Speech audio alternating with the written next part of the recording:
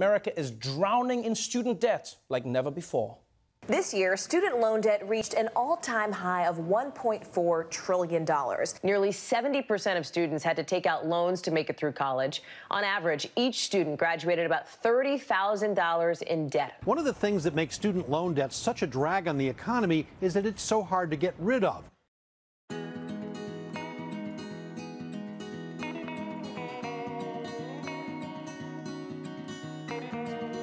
I'm from Los Angeles, California.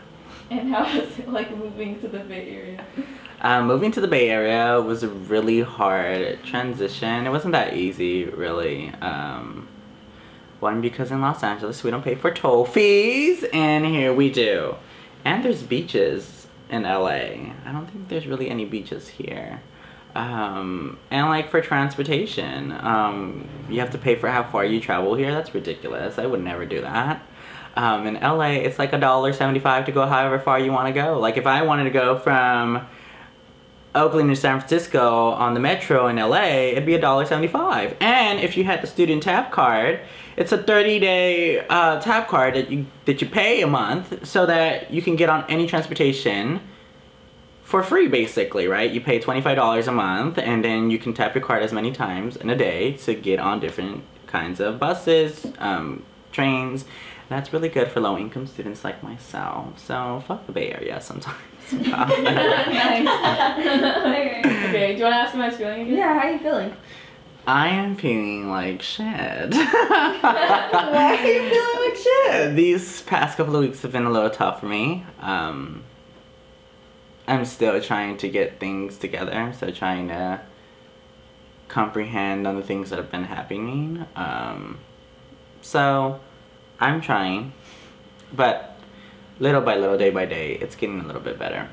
I was a black sheep of my family. I wasn't really supported um, of my sexual orientation.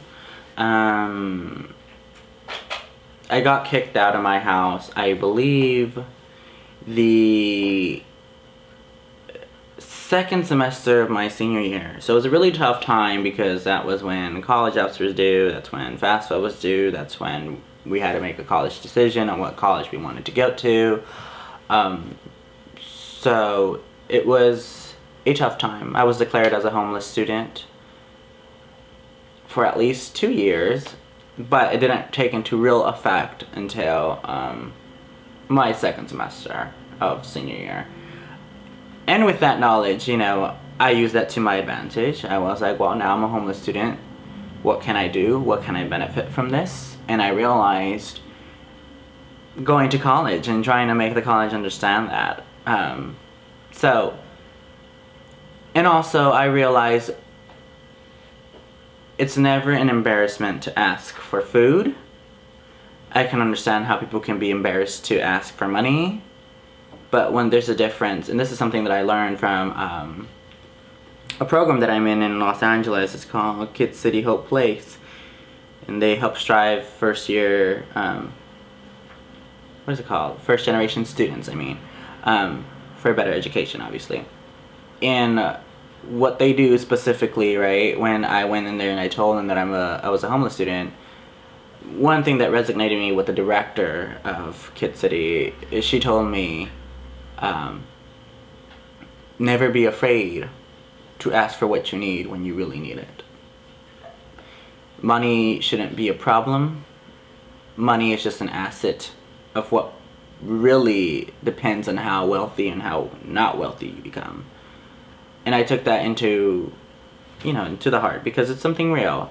Money doesn't buy you happiness. It buys you to a happy house, but it doesn't buy you happiness. And yeah.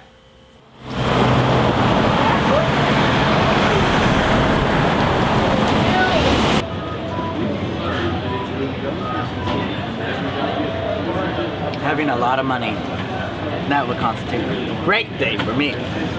Being able to go shop and do whatever I want, that's a great day.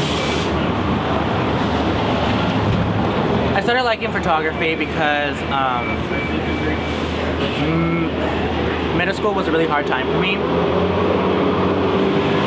And photography became my escape. from all the adversity that I was facing. Um, it was really dark. I was in a really dark place throughout my my middle school. So photography was there to, as a way to set myself free, relieve myself. And also because I went to the Space Annenberg Museum for photography in Los Angeles. And when I went there, I saw one image called The Afghan Girl by Steve um, McCurry. And after looking at that image, I told myself, this is what I want to do. This is what I want to take portraits of. This is why I want to take, I want to be a portrait photographer. This is why I want to work for National Geographic because I want to tell compelling and beautiful stories and help connect with people.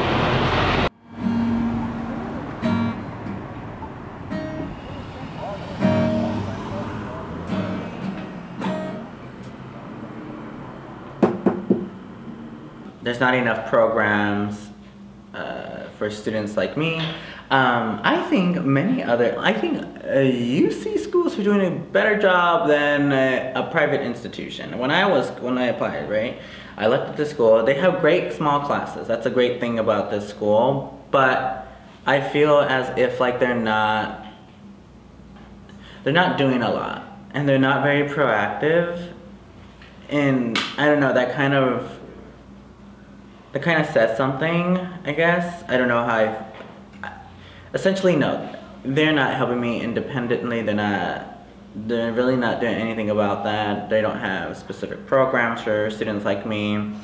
Like the only thing that I know so far that I was being part of um, is the cohort the um, honors cohort for first generation students. And that's pretty much the only thing that I'm part of for first generation. Um, but it doesn't support me financially it just supports as a sense as a support like a support group. And that's not the same thing if that makes any sense. In 2006 total student debt was under 500 billion. Now it's over 1.5 trillion eclipsing both credit card debt and auto loan debt. Yeah over 44 million americans have student loans with a mean balance of over 30 grand and a median balance over 17 grand and if you don't know the difference between median and mean, your student loans were truly a waste of money. It's terrible. We're in a really bad place now with student debt. And it's gotten worse at CCA. when I went, I was a student here and it was so much less expensive then. But to leave with like $200,000 in debt and work as a painter would be terrible, right? 200 but it could if you if you had to borrow $50,000 each semester because isn't isn't tuition 47,000 then you have to live here too. Yeah, and that just grows exponentially. I have lots of friends, I'm old, and I have lots of friends who are still paying their student debt, student debt off. But, and literally all of, all of my friends who are, who are artists are still paying, or either just finished off, like I'm almost 50, just finished off paying their debt now, or are still paying it off. Wow. that's crazy, right? Yeah. Have you seen students that succeed who had student? Yeah, no, I, I mean, people do. Also, I think it depends if they're fine artists or they're commercial artists or what kind of job they end up getting in order to pay it off. Some jobs I think will help you with your loans, but I think if you're going to be try to be a fine artist, you're not necessarily going to make any money. So then, they, then it's hard to pay them off. But some people get great jobs and they just pay them off the first year. It just depends. But like everything, in this in everywhere, you know, people who are richer have more choices, and people who are poorer have fewer choices, and that's it's not right. It's not right.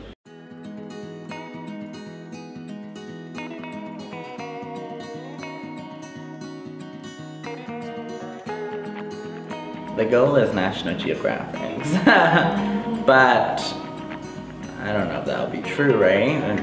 That's gonna take a while. Um, but I do hope to be working at either I'm trying to start up my own business or I'm gonna decide on working for a company.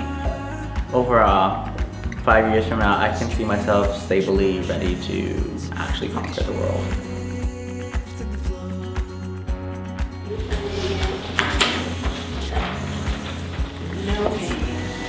Androgyny, say hi to the camera. É. é.